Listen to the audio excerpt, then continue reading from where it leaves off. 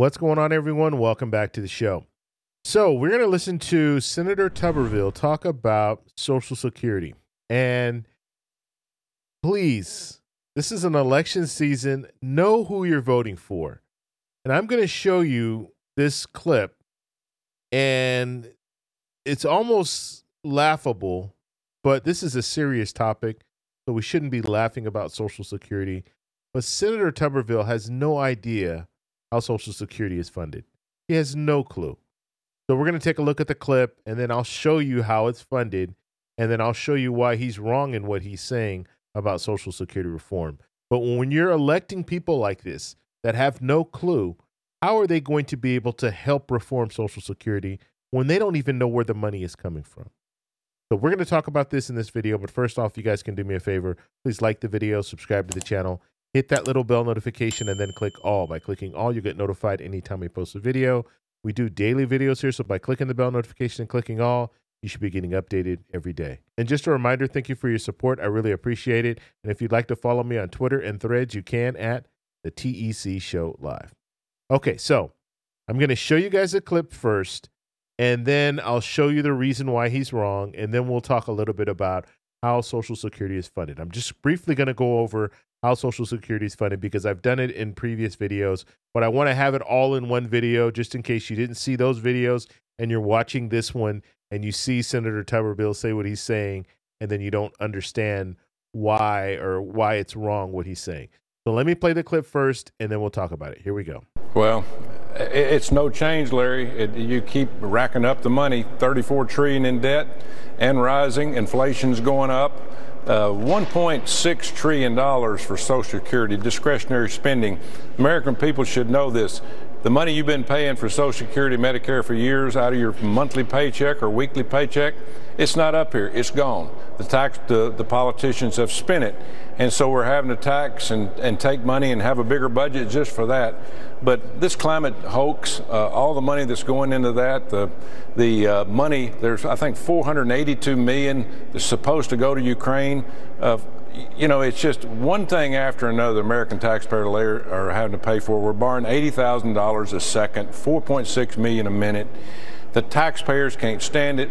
They're in a spiral, a disaster spiral. This will be an end to Joe Biden, not just this budget, but also the inflation going up. There's no way Jerome Powell now can drop the interest rates, and he needed that to drop to be able to save his candidacy, but it's not going to happen. There's no way he can drop interest rates. Okay, so first thing I want to do, maybe I should go back just so you guys hear this, and we'll we'll uh, take a look at it together. Uh, $1.6 trillion for Social Security discretionary spending. Okay, so I want to stop right there. So he's talking about discretionary spending. He said 1.6 trillion dollars. Now he's talking about every year 1.6 trillion dollars you're spending on Social Security. He calls it discretionary spending.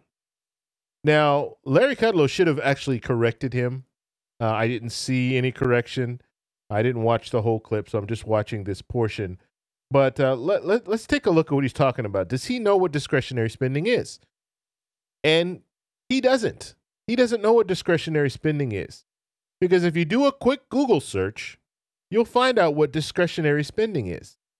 So, discretionary spending, these programs are called discretionary because policymakers have discretion to decide their funding levels each year through the appropriations process. Okay, so that's what they're going through right now, their appropriations process.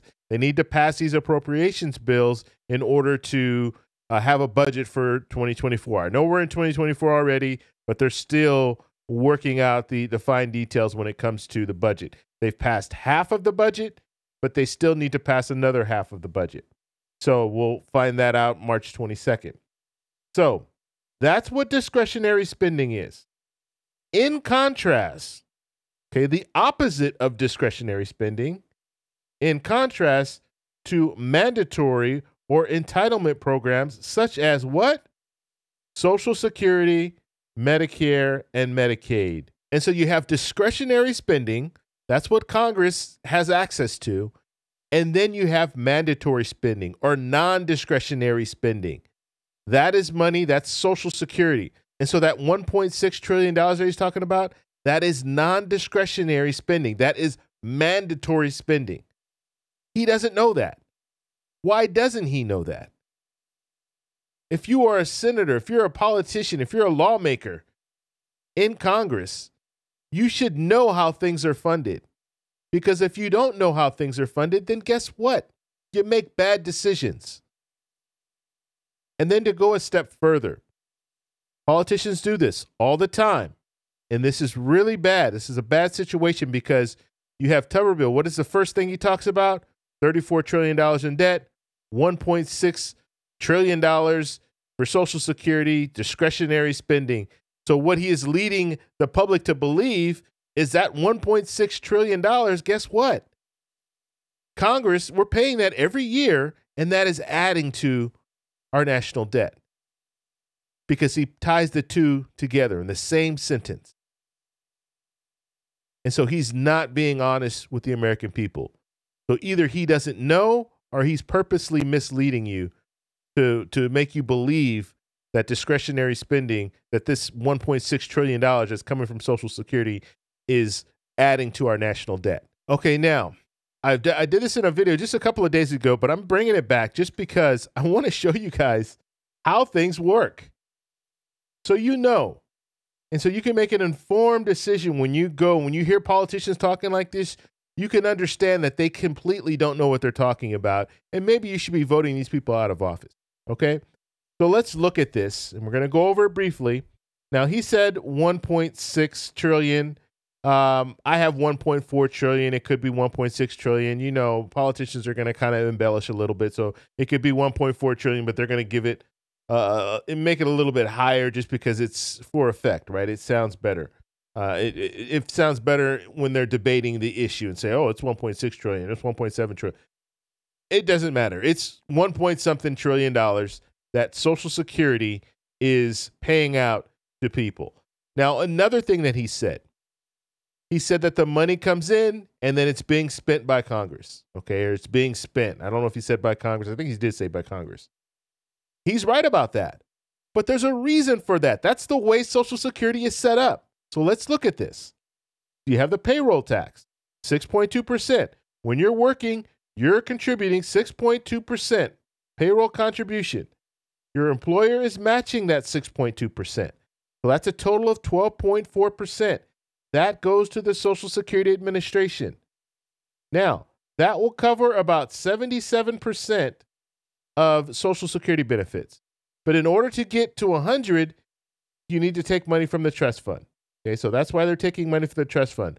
The trust fund is money we had a surplus at at one time where we were bringing in enough money with just just a payroll contribution to provide benefits for people receiving social security benefits and we had money left over. That money went into the trust fund.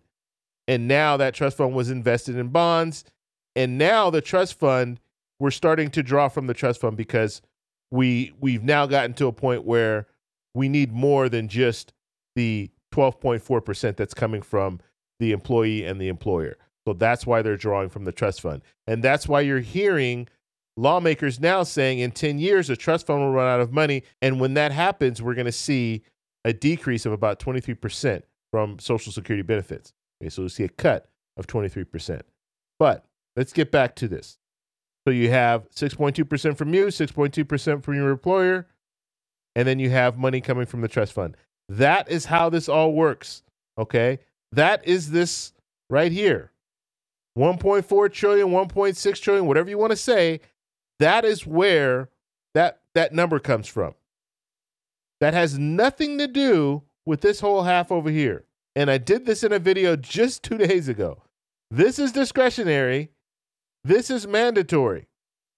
This is how this is paid. So this money never, this money here never goes over to here. And discretionary funding, that is extra money. Okay. And when I say extra, we'll go over that really quick just so you guys understand how discretionary funding is. And discretionary spending goes like this when you're working, you pay taxes to the IRS. When you're retired, if you are receiving enough in retirement, you also might qualify to pay taxes. Corporations also pay taxes. All of this money goes to Congress. discretionary spending. Now Congress can they can spend the money how they see fit. Okay? That's how that works. But the money that's coming from here, this payroll tax, the payroll contribution, and the trust fund, all of this money is walled off. This money does not go to Congress. They don't have access to the money. And so when you hear people like Tuberville, who should know this because he's a senator and he is responsible for looking at legislation, voting on legislation, creating legislation, he should know how things work. And if you don't, then don't say anything because it makes you sound really silly. And that's the way he sounds right now. Really silly. Like he doesn't know anything about how Social Security is run and where the money is coming from. And the fact that that 1.6 trillion that he's talking about, it's not adding to our national debt. And let me go back and show you what is adding to the national debt. What's adding to the national debt is discretionary spending. All of this right here. This is what adds to that $34.46 trillion. Not Social Security. None of that money is adding to the national debt. And it's sad, it's really sad that we have lawmakers that do not understand this, or if they do understand it, they're misleading you because they want you to believe that that 1.6 trillion is adding to our national debt. So we need to do something about that 1.6 trillion that we're spending in social security every year. And so I don't know. I don't know what what to say when it comes to these lawmakers putting out this information. But I will tell you one thing. Make sure you know who you're voting for. And if you have people like this who have no idea of how, how things work, they don't need to be in office. They're actually hurting us. They're not helping us at all. Because if they don't know how the system is run, then guess what? They'll make bad decisions and they can be misled by their counterparts. They can be misled because their counterparts can say, yeah, you know what? This is adding to the debt. Social Security is adding to the debt. We need to do something about that. We need to. Will you, will you support this bill? And if people like Tuberville have no clue, they don't know, and they think, oh yeah, well it is adding to the debt. Let's let's go and take care of that. Yeah, I'm for that bill. I'll go ahead and support that. That's dangerous. That's why it's important when you hear politicians just say things and, and that's why I like when I hear politicians say stuff like that, I like to correct them and show you guys the right way. Because hopefully, maybe you're in his state. And when he runs for reelection, you'll remember this and say, hey, you know what? He got it wrong, really wrong when it came to Social Security. And some of these lawmakers, they've been saying it for years and years and years.